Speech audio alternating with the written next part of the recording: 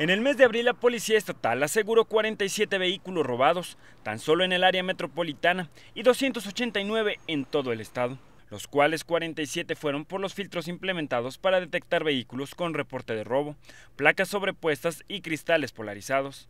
97 en operativo Delta por circular sin placas, 50 por delitos de tránsito, 20 vehículos abandonados y 75 por acciones diversas.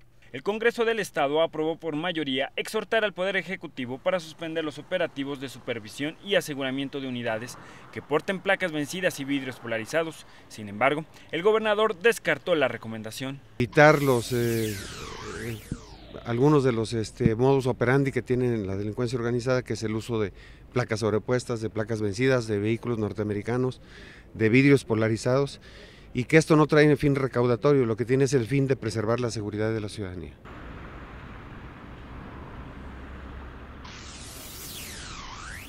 Luego de que el gobernador del estado confirmara que continuarán los filtros en la ciudad de San Luis Potosí, esta es la opinión de la gente. Está bien, por una parte. ¿Por qué? Un poco más de seguridad para, pues, para nosotros, que no haya carros en, para el crimen, todo. Mira, por una parte está bien, ¿verdad? Pero deberían de ser un programa para que la raza que no puede pagar les den chance. La seguridad está cada día peor, entonces hay que poner todo el empeño para a ver si algún día se logra que ya el ciudadano ande este, sin miedo. No, sí opino que estén bien, que están bien, porque ahorita hay mucha inseguridad aquí. Está, que está muy mal, señor, porque ya, ya, ya todo el mundo sabe lo de las placas. ¿Está bien? ¿Por qué? Mayor seguridad para nosotros. Ah, la verdad, esto que es pura pérdida de tiempo. ¿Por qué? En realidad, pues, le veo que, mira, en primer lugar, el gobierno está recaudando mucho dinero y en realidad no se ve en la ciudad lo Por su parte, la líder de la agrupación de vehículos americanos, Elizabeth Gómez, calificó de positivo los operativos. Sin embargo, señaló que deberían de existir programas para facilitar la regularización de vehículos.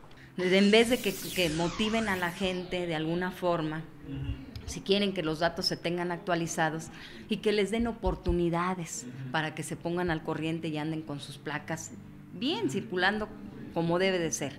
Aunque la Secretaría de Seguridad Pública no ha informado cuántos vehículos chocolate ha decomisado en los operativos, Elizabeth Gómez señaló que es la misma exigencia en los filtros instalados para los conductores de estas unidades. El padrón de esta organización asciende a 32.500 y fracción. Y yo creo de esos 32.500, si nos han pegado a 8, pues es nada. Y todo es hasta cierta forma de forma justificada.